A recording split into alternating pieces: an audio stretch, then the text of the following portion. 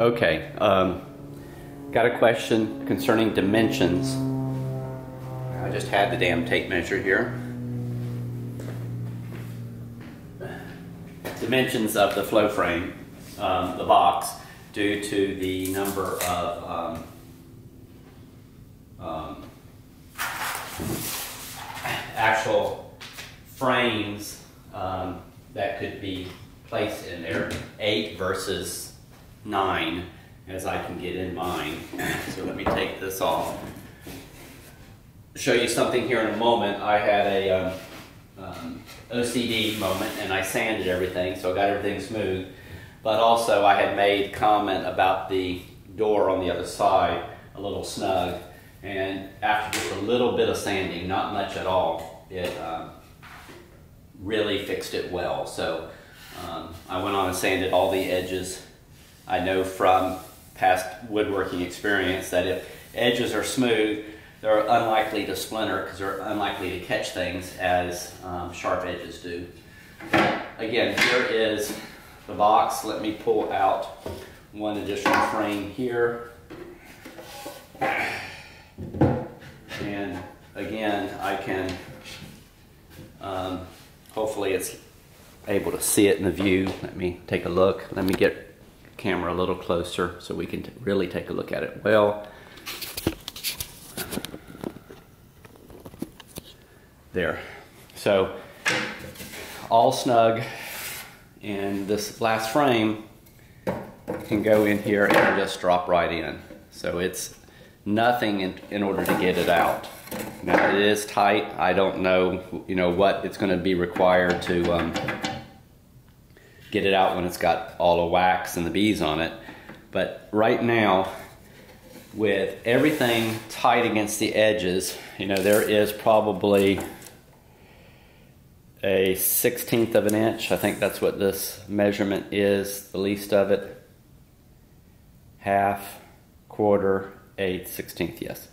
There is a 16th of an inch gap even with eight, nine frames in here snug. So somebody asked yesterday what the dimension of the hive is. So I'm gonna put it right here on number two and stretch it out over here. And it's almost exact. Let's do here at the end because that might be bowed slightly for whatever reason. So right on two and it measures 14 and a half, almost exactly 14 and a half. It may be a fraction over, uh, 130 seconds over, but 14 and a half. So I'm on two, so that's 12 and a half inches exactly inside dimensions.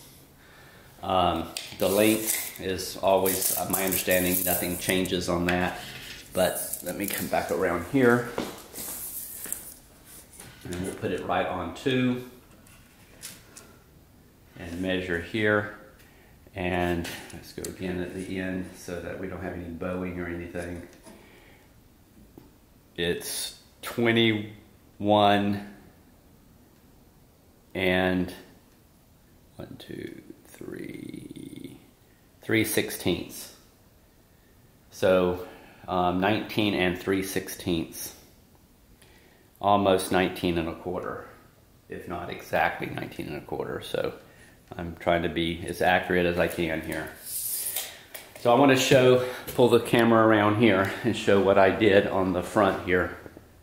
Oh, wrong area. Here is the hive. Um, I'll put it back on top so we can see it.